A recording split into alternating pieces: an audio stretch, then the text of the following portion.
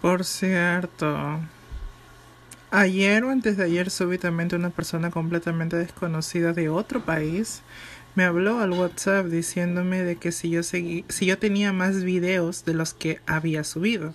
Y yo le dije de qué estás hablando porque, o sea, se supone que yo se supone de que yo debía de entender a qué él se estaba refiriendo. Y él me mandó una captura de pantalla en donde en Twitter eh, supuestamente en mi número aparecía junto con un video porno amateur eh, de una persona masturbándose. Y yo dije, número uno, bueno, por mí normal me, me, me encanta el pene, pero eh, yo no sigo esa página. Eh, no he compartido mi número a ninguna persona. Y no sé por qué han podido publicarlo ahí. La verdad que sí me causó temor por el hecho de la facilidad en cómo pudieron acceder a mi número, porque incluso estaba con el código de mi país y todo.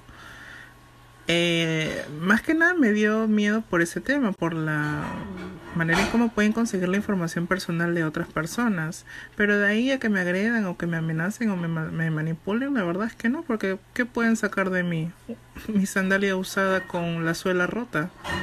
Así que sí, chicos, tengan cuidado con las páginas que sigan, donde compartan sus números y también con qué gente conversen. y si quieren porno, mándenmelo a mí.